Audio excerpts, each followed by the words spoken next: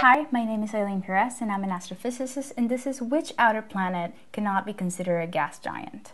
So here's the list of the outer planets. This is Jupiter. And this is Saturn.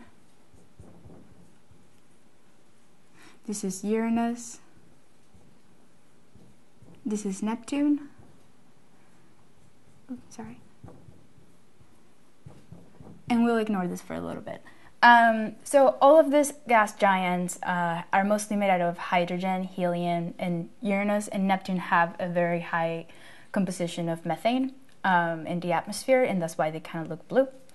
So um, all of these four can be considered a gas giant, but this used to be a common question when Pluto was still considered a planet. So we'll label it for the purpose of this conversation. So Pluto is no longer a planet, and it was taken out in 2006. And one of the main reasons it was taken out is just it didn't follow the same pattern of what we consider an outer planet. It was not a gas giant to begin with. Its orbit was uh, very difficult. It was 17 degrees tilted, and sometimes it crossed the path of Neptune.